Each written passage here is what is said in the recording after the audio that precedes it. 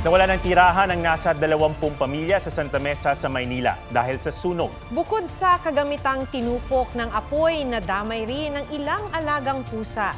May report si Von Aquino.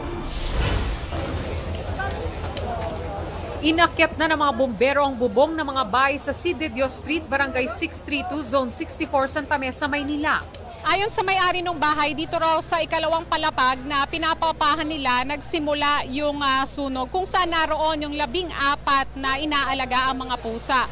Ayon pa doon sa may-ari, eh, wala daw doon yung mga borders na mangyari yung sunog.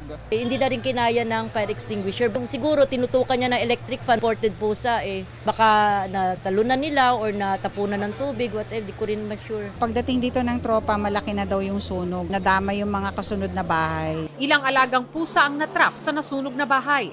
Nakaligtas naman ang isang pusa. Pero hindi pa tiyak kung isa ito sa labing apat na pusa sa kwartong unang nasunog. Tinurn over ang sugatang pusa sa barangay para maibigay sa may-ari. Ang ilang tenant sa paupahan wala na ring nailigtas na gamit.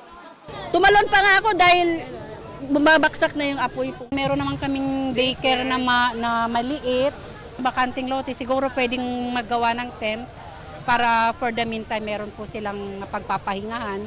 Sa investigasyon ng Manila Fire District, tatlong bahay ang nasunog. Dalawampung pamilya ang nasunugan habang tinatayang nasa 500,000 pesos ang halaga ng pinsala. Isang bumbero ang nagtamo ng minor injury. Bago sana umalis sa mga bahay, tanggalin muna natin yung mga nakasaksak. Naapula ang sunog na umabot sa second alarm mag-alas 9 ng gabi. Von Aquino nagbabalita para sa GMA Integrated News. Huwag magpahuli sa mga balitang dapat ninyong malaman.